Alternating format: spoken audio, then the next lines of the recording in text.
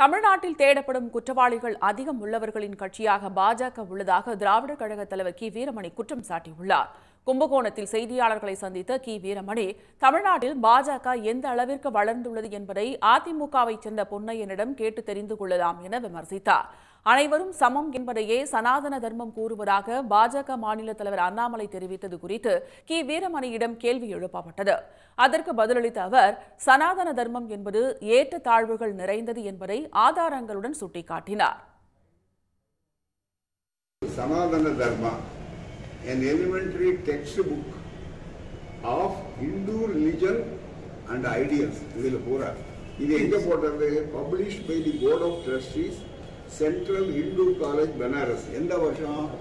1916. ஆயிரத்தி தொள்ளாயிரத்தி பதினாறு.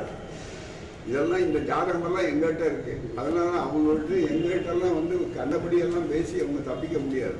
இதுல நூத்தி பதினோராவது பக்கத்துல ரொம்ப தெளிவாக நாலு ஜாதிகள் வர்ணாசிரம தர்மத்தை ஏற்றுக்கொள்வதுதான் இந்த சனாதன தர்மம்.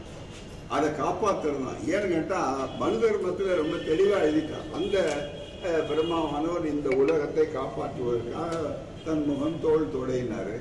அதே மாதிரி கிருஷ்ணன் சதுர்வர்ணம் மயாசிருஷ்ணன் நான் தான் உண்டாக்குனேன்னாரு இதை மாற்ற முடியாத தர்மத்தைன்னாரு எனவே நான் சூத்திரன் சூத்திரனாக இருக்கணும். சூத்திரங்கிற வார்த்தையெல்லாம் ரொம்ப தெளிவாக இதில் இருக்கு.